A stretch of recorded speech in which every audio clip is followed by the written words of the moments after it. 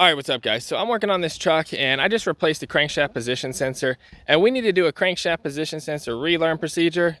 Man, that's a mouthful. So we're not going to the dealership. I'm gonna do it myself. I got this tool on Amazon. Let's see if this works. All right, here's the sensor right here. You need to put a little bit of engine oil on the O-ring so it'll seal. This is a 2002 Chevy 5.3 V8. Let's get installed. Disconnect the battery. Here's the old one right here. It's just one bolt.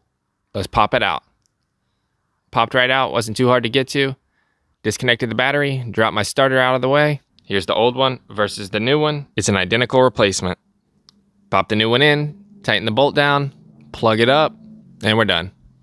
Here it is, the VX Nano. It's an OBD2 port plug, and you just plug it in and hook it up to the laptop, USB in the back. Let's see if we can get this thing to work right. I do recommend installing this on a Windows laptop or tablet that you don't care much about for security purposes. This one came with a USB drive with all the software on it. I ran the auto installer first. Okay, then I run this one. Select pass through and the type of vehicle I'm working on. Now I got it plugged in the USB port. All right, it's all lit up. All right, now I open the VX Diag software and it's working. Let's go hook it up. Plug it in. It's got some lights on the back of it. This thing will also work on many different makes and models. I'm using it on a GM vehicle, but it works on Ford, Toyota, Honda all the big names. It works on it. You just got to install the software for it. Turn the key on. I got the software open right here. North America, Bosch MDI, USB, diagnostics, 2002 light truck. The engine is a VIN code T. It's a LM7 without. The only code coming up is O2 sensor. All right, special functions. Crankshaft position variation learn.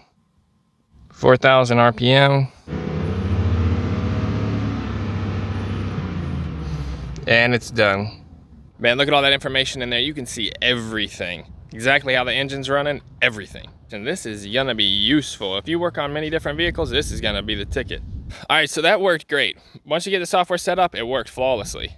I installed this on a laptop I didn't care about. My antivirus was having problems.